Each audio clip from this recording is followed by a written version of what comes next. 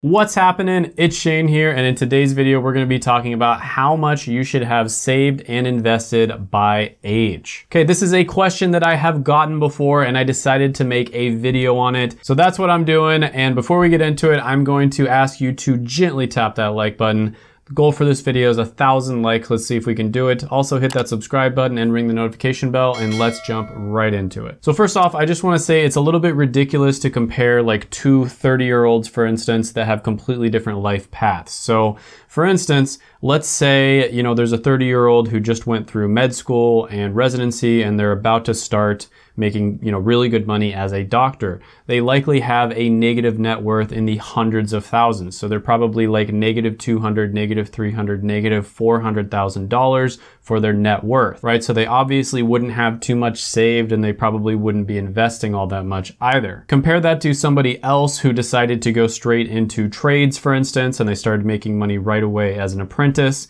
And then after a few years, they became a fully fledged plumber, for instance, and then they're making really good money all through their 20s, they would likely have a net worth of something like, I don't know, 100 to $200,000. So obviously they would have more money saved and invested. Now that doesn't necessarily mean that one path is better than the other. Over the long run, 20, 30 years down the line, the doctor would likely surpass the plumber. So it's very difficult to compare all people. You know, it's kind of like an apples to oranges comparison in many ways. However, I did come across a very interesting study by Transamerica Center for Retirement and they show that Americans in their 20s have a median of $16,000 in savings. For their 30s, it was 45,000. For their 40s, it was 63,000. For their 50s, it was 117,000. And for the 60s, it was 172,000. Now for me, the one that's the scariest to see there is people in their 60s that only have $172,000 saved. That is nowhere near enough to retire on. And if you're in your 60s,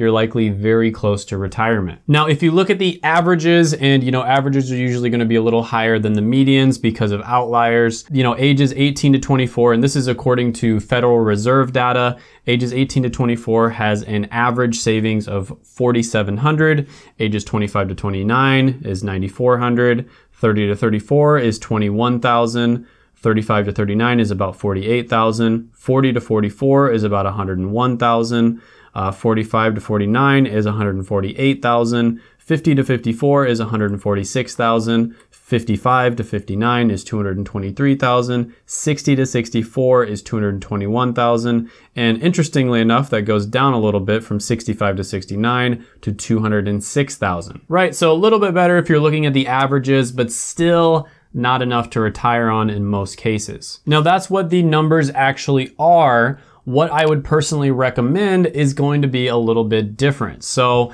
generally speaking, what is recommended is by the time you're 30, you basically need to save whatever your income is. So if you're making $50,000 a year, by the time you're 30, it's a good idea to have $50,000 saved. And then when you're 40, it should be three times that much. So if you're 40, you're making $50,000 a year, you should have about 150,000 saved. When you're 50, it should be five times that much, so 250,000. When you're 60, it should be seven times that much, so 350,000. When you're 70, it should be nine times that much, much, so that would be 450,000. And then when you're 80, it should be 11 times that much, so it would be 550,000. Now, chances are in real life, your income would go up as time went on. So, you know, by the time you're 60, you're probably going to be making a lot more than $50,000 a year if that's what you were making when you were 30. So let's say you're making something more like $150,000 a year when you're 60. That would be 150 times 7, which would be 1,050